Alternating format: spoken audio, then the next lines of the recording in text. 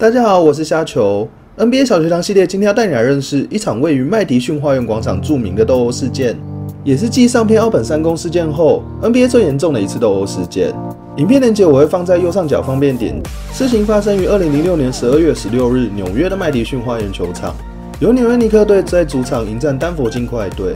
前三节虽然由金块队领先十分，但双方的比分一直到第四节的时候才拉开差距。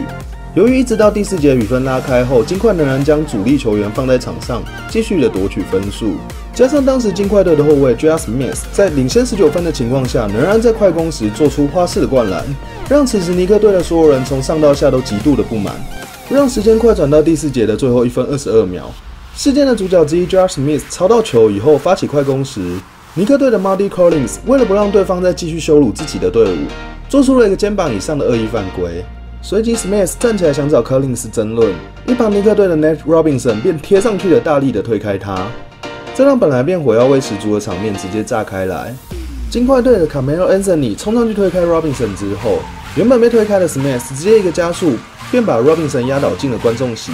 双方球员介入，纷纷隔开了自己的队友以及对手。尽管场面看起来似乎已经有稍微被控制住了，此时 Anthony 绕过了一位防守者，再给了 Collins 一拳。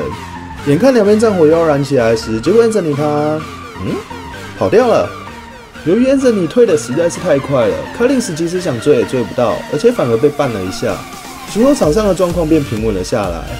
此次的事件作为奥本山事件后最大规模的斗殴，理所当然地引起了各方面的讨论以及采访。其中有些球员私下指出，柯林斯会做出如此恶意的行为，除了火气以及情绪外，是由尼克队的教练 Asiel Thomas 所下令的犯规行为。是为了给领先，却还继续将主力留在场上，羞辱他们给的教训。事件当时，NBA 也正在努力洗刷前几年奥本山事件的形象。原本是考虑给予重大的处分，但由于此次事件并没有牵扯到观众，于是仅做出以下的禁赛以及罚金的处分。而其中，Anthony 被判罚禁赛了十五场为最多。而事件之后，尽管 Anthony 也发表了声明，对于球迷以及联盟都感到抱歉，并且在声明稿中也特意的向 Collins 道歉自己的行为。但对于不少当时有在看球的球迷来说，我想永远都不会忘记那招天马流星拳吧。而且我自己也很想知道，安森尼在知道自己要前往尼克时是怎么想的。如果你喜欢我的影片，麻烦帮我分享以及订阅，还有追踪我的 IG。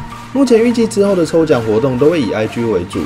我是虾球医院外的空气真棒，我们下次影片见。